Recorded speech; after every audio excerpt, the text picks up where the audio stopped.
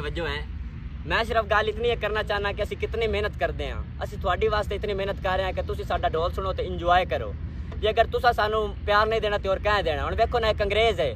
ਉਹ ਵੀਡੀਓ ਬਣਾ ਰਿਹਾ, ਉਹਦੀ ਵੀਡੀਓ ਤੇ ਮਿਲੀਅਨ ਦੇ ਹਿਸਾਬ ਨਾਲ ਲਾਈਕ ਆ ਰਿਹਾ ਤੇ ਤੁਸੀਂ ਤਾਂ ਫਿਰ ਸਾਡੇ ਆਪਣੇ ਹੋ ਮੁਲਕ ਦੇ ਹੋ ਪਾਕਿਸਤਾਨੀ ਹੋ। ਤੁਸੀਂ ਨਹੀਂ ਸਾਨੂੰ ਪਿਆਰ ਦੇਣਾ ਤੇ ਹੋਰ ਕਿਸ ਦੇਣਾ ਤੇ ਅਸੀਂ ਆਨੇ ਆ ਜਿਸ ਤਰ੍ਹਾਂ ਸਾਡੇ ਚਨਿਓੜ ਦਾ ਫਰਨੀਚਰ ਹਰ ਜਗ੍ਹਾ ਤੇ ਮਸ਼ਹੂਰ ਹੈ। ਇਸੇ ਤਰ੍ਹਾਂ ਸਾਡੇ ਚਨਿਓੜ ਦਾ ਢੋਲ ਵੀ ਮਸ਼ਹੂਰ ਹੋਣਾ ਚਾਹੀਦਾ ਪੂਰੇ ਪਾਕਿਸਤਾਨ ਵਿੱਚ।